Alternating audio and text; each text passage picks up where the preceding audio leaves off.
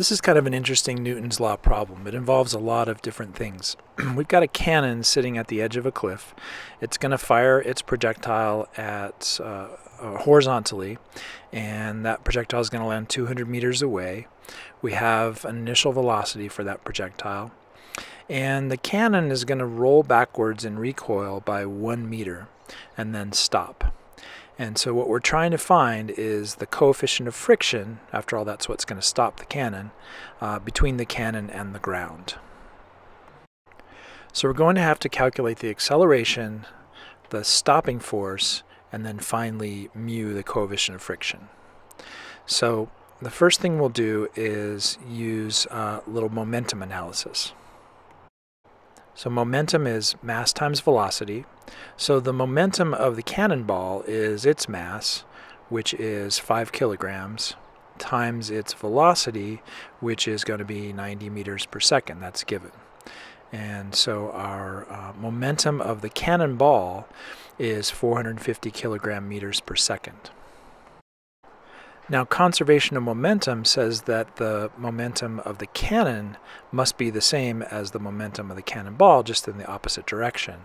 So we know the cannon's momentum and we know its mass, so then we should be able to find its velocity.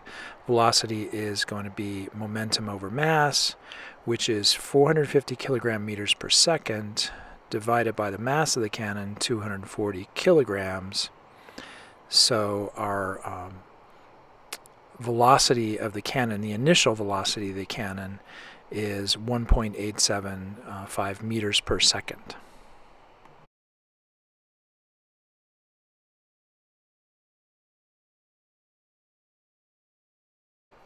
Now let's write those values into our diagram. The cannon is going to start rolling backwards at an initial velocity of 1.875 meters per second, and when it stops, it'll have a velocity of 0 meters per second, or a final velocity. So there's a couple ways we could do this problem, but let's try it this way. The initial velocity is 1.875 meters per second the final velocity is zero, so we'll calculate a, an average velocity um, just by averaging those two numbers, 1.875 plus 0 divided by 2 gives us an average velocity during that trip of 0.9375 um, meters per second. And what we're going to use that for is to find the time that it takes the cannon to stop. So the time is distance over average velocity. Um, it takes one meter for the cannon to stop. Um, and 0.9375 meters per second. So the time in seconds is um, 1.067 seconds. Now we're trying ultimately to get to a force, so let's calculate the acceleration of the cannon as it slows down. That's the change in velocity over the change in time. The change in velocity is just going to be that uh, 1.875 meters per second, because it goes to zero from there, so that's delta V. And our time is 1.067 seconds. And so if we do that um, division, we get an acceleration of 1.758 meters per second squared.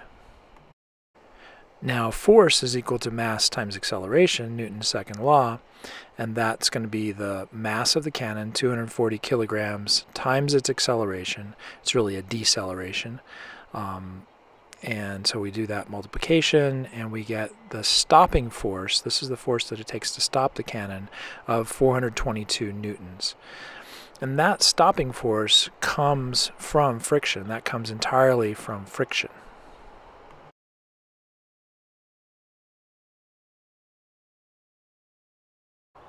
Now the force of friction is the coefficient of friction, mu, times the normal force.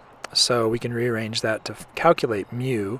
That's going to be the force of friction divided by the normal force. So we already have the force of friction, 422 newtons, and we divide that by the normal force, which we didn't calculate ahead of time, so that's 240 kilograms times 9.8 meters per second squared. And if we just work that out, we get uh, mu is 0.179. And mu is unitless.